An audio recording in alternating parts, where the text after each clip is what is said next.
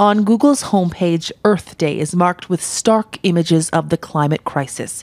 Time lapse satellite pictures showing glacial retreat at Mount Kilimanjaro, glacial melt in Greenland, coral bleaching at the Great Barrier Reef, and deforestation across Germany.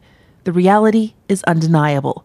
Earth's landscape is changing fast. The reality is, this is happening before our eyes we know the science, we understand the reason. We just have to have the courage and the collective will to decarbonize. Canada's landscape is rapidly changing too.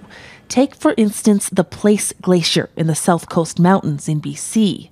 Now, watch how it's disappeared since 1965. We're talking about uh, 60 to 70 meters of lowering on the surface of those, those ice masses in some cases. And that's that's ice that's not going to be re- replenished. The changing climate isn't just melting Canada's ice, it's heating up our cities as well.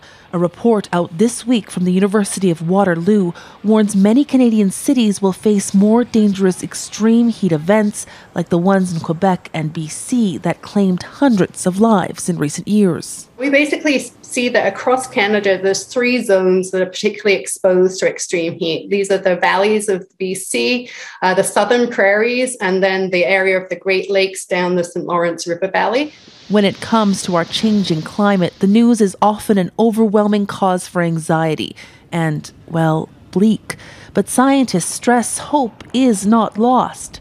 There is still time to focus our collective efforts to ensure the worst case scenarios don't become our Earth's future reality.